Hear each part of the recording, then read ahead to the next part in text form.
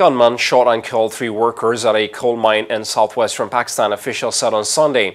No one immediately claimed responsibility for the attack. Suhail Anwar Hashmi, the top administrator in Harnai district in Balochistan province, said the early morning violence took place in the Sharag area, where most of the province's coal mines are located. Harnai is located about 124 miles northeast of Quetta, the provincial capital of Balochistan. Hashmi said counter-terrorism and local police teams were searching for the assailants. Baloch separatist groups have previously claimed responsibility for similar attacks on coal miners in the region. The gas and mineral-rich Balochistan province has been the scene of a low-level insurgency for some two decades. Initially, insurgents demanded a greater share for the local population of the province's gas and mineral income, but later Baloch separatist groups started pressing for independence from Pakistan.